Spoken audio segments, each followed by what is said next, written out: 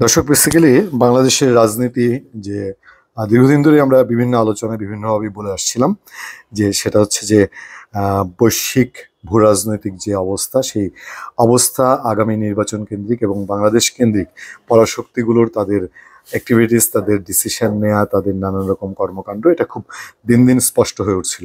এবং সেই স্পষ্ট হওয়ার মাঝ থেকেই, মাঝখানে কয়েক মাস আগে বাংলাদেশ কেন্দ্রিক বিভিন্ন বিবৃতি নিয়ে মস্কো এবং ওয়াশিংটনের মধ্যে পাল্টাপাল্টি বিবৃতি হয়েছে, অর্থাৎ রাশিয়া রাশিয়া এবং আমেরিকার মধ্যে।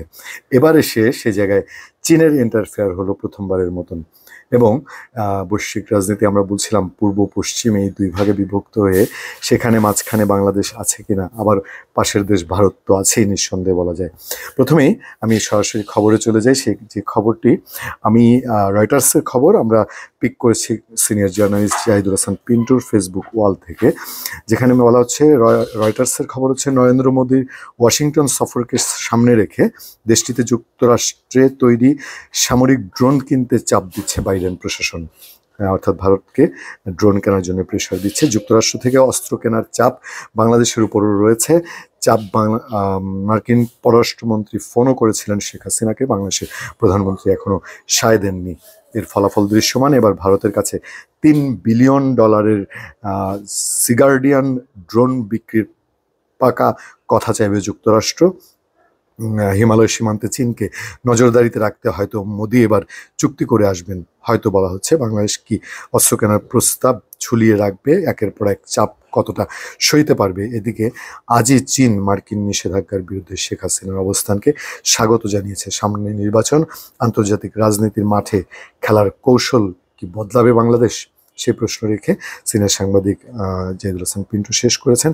এবার চলুন আমরা খবরটিতে চলে যাই। আমরা দ্য ইন্ডিপেন্ডেন্টের অনলাইন ভার্সন থেকে আমরা খবরটি আপনাদেরকে জানাচ্ছি যে যুক্তরাষ্ট্রের নিষেধাজ্ঞা নিয়ে শেখ হাসিনার অবস্থানকে চীন সমর্থন করে বলছে ইন্ডিপেন্ডেন্টের অনলাইন ডেস্ক যেখানে বলা হচ্ছে র্যাপিড অ্যাকশন ব্যাটালিয়ন র্যাব ইস্যুতে যুক্তরাষ্ট্রের দেওয়া নিষেধাজ্ঞার বিরুদ্ধে বাংলাদেশের প্রধানমন্ত্রী শেখ হাসিনা অবস্থানকে সমর্থন করছে, সমর্থন করে চীন, দেশটি বাংলাদেশের স্বাধীনতা সার্বভৌমত্ব ভৌগোলিক অখণ্ডতা বজায় রাখার জন্য সার্বিকভাবে সহায়তা করবে।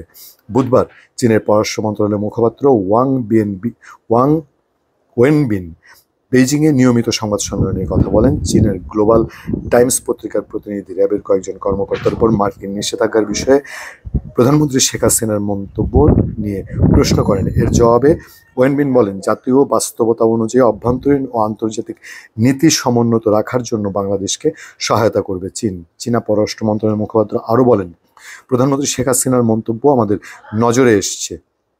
একটি দেশ নিজেদের বর্ণবৈষম্য, অস্ত্রের সহিংসতা ও মাদক সমস্যার প্রতি নজর না দিয়ে গণতন্ত্র, মানবাধিকার অজুহাত দিয়ে বাংলাদেশে অনেক দেশের অভ্যন্তরীণ বিষয়ে নাক গলাচ্ছে প্রধানমন্ত্রী শেখ হাসিনা। শুধু বাংলাদেশি জনগণের অবস্থানের দৃঢ় অবস্থান ব্যাখ্যা করেননি, তিনি আন্তর্জাতিক জনগোষ্ঠী, বিশেষ করে উন্নয়নশীল দেশগুলোর একটি বৃহৎ অংশের মনোভাব ব্যক্ত করেছেন। সব ধরনের আধিপত্যবাদ ও শক্তির রাজনীতির বিরুদ্ধে আমরা বাংলাদেশ সহ অন্যান্য দেশের সঙ্গে কাজ করব। একই সঙ্গে জাতিসংঘকে কেন্দ্র করে আন্তর্জাতিক সিস্টেম, আন্তর্জাতিক আইনের উপর ভিত্তি করে আন্তর্জাতিক ব্যবস্থাকে সমুন্নত রাখার জন্য আমরা কাজ করব। যোগ করেন ওয়েন ওয়েন বিন খেলা বহুদূর নিঃসন্দেহে বলা যায়।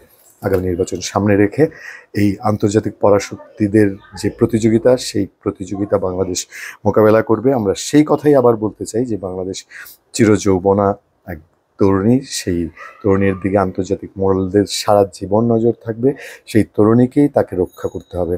এবং আমরা বলেছি যে আন্তর্জাতিক কোনো পরাশক্তিরই সেটা চীন হোক, রাশিয়া হোক, ভারত হোক আর যুক্তরাষ্ট্র হোক, কারোরই আমাদের দেশের ভেতরকার বিষয়ে ইন্টারফেয়ারের আমরা কখনোই কোনোদিন সমর্থন করিনি, এখনও করি না, ভবিষ্যতেও করব না।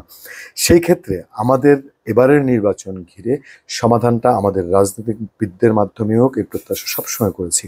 এখন আন্তর্জাতিক দুই পরাশক্তি, বিশেষ করে মার্কিন, চীন যে স্নায়ুযুদ্ধ এই স্নায়ুযুদ্ধ এখন একটা চূড়ান্ত আকার, আকারের দিকে রয়েছে। বলা হচ্ছে যে মার্কিন পররাষ্ট্রমন্ত্রীর সঙ্গে চীনা পররাষ্ট্রমন্ত্রীর উত্তপ্ত ফোনালাপ হয়েছে। এমন একটা পরিস্থিতিতে বাংলাদেশের সঙ্গে যুক্তরাষ্ট্রের সঙ্গে একরকম শীতল যুদ্ধের পর্যায়ে কিনা বা একটা শীতল লড়াইয়ের পর্যায়ে কিনা, এই বিষয়গুলো এখন সামনে আসা খুব স্বাভাবিক। তাই আমাদের নির্বাচন কেন্দ্র করে যেন আন্তর্জাতিক পরাশক্তিগুলো তাদের স্বার্থে আমাদেরকে ব্যবহারের সুযোগ না পায়, আমাদের অবস্থানটা সবসময় পরিষ্কার। ধন্যবাদ সবাইকে, ভালো থাকবেন, সুস্থ থাকবেন, আবার দেখা হবে, আবার কথা হবে।